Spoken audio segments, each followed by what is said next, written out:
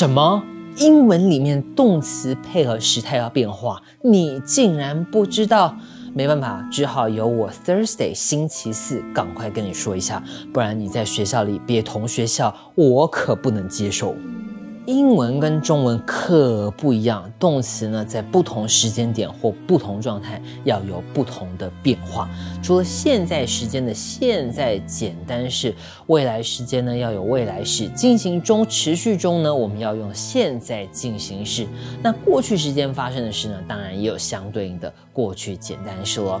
今天呢就要来跟大家介绍一下过去简单式要怎么变化。过去简单式呢，就用在过去的一个时间点发生的动作了。比方说呢，今天早上我吃了一个蛋糕，I ate a cake this morning。昨天下午五点呢，我去了一趟小木屋调查。I went to the cabin yesterday。哎，等等，在过去时间点发生并且结束哦，持续多长并不重要。它呢，这个时间可以是今天早上，也可以是一百年前。时间的远近呢无所谓哦，只要呢是在过去指定的这个时间点发生结束，我们呢就要用过去简单式。过去式的动词变化呢有很多不规则，例如呢刚刚看到的 eat，它的过去式呢 ate，或者是呢 go 的过去式 went。OK，be 动词 is and 的过去式 was，而 are 呢则要变成 were。这些呢不规则的变化呢，当然没办法，只能背起来多练习。但是呢，不要担心，绝大部分的动词变化呢都是规则变化哦。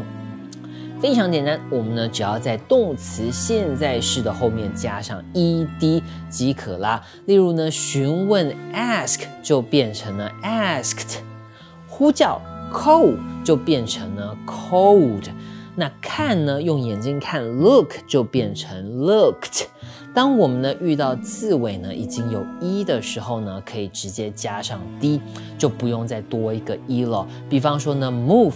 M O V E，OK，移动这个单字，它字尾已经是一了，所以呢，我们直接加上 D，M O V E D，moved。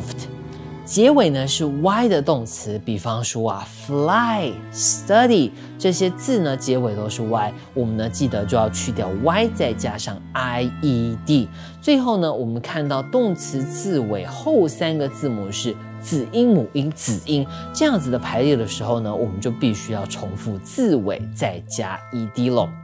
是哪些动词呢？比方说呢，慢跑 jog，OK，J O G J 是子音，O 是母音，G 是子音。这时候呢，我们就要说 jogged，OK，J O G G E D，我们要重复字尾，或者是呢，像 drop。